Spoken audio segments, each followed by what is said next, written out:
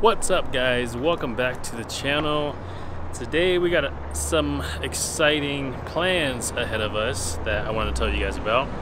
So we're going to be having our last summer meetup get together kind of thing here at Running for Tacos. So um, it is going to be on the 19th of September so this month um, on a Sunday, make sure you guys come out if you guys are in Denver, Colorado, or just in Colorado in general. Um, we're gonna have all of our vehicles here. The FJ Cruiser behind me. We're gonna have our Tundra, Tacoma, and all these other vehicles right here. Here, along with a bunch of locals. So make sure you guys come out.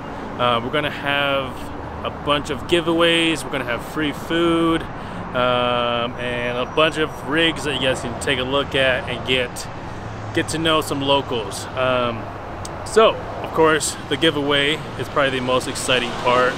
We're gonna be giving away two sets of wheels. We're gonna be giving away some Baja Designs lights.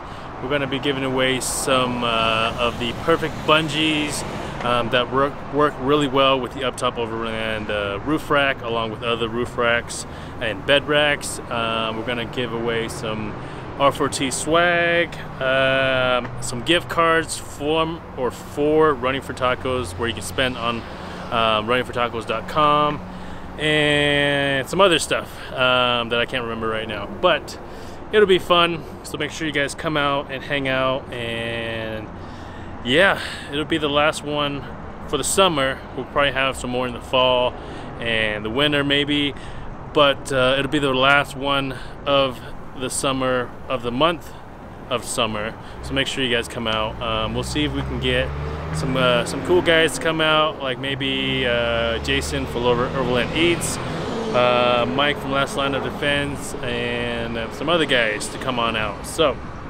yeah.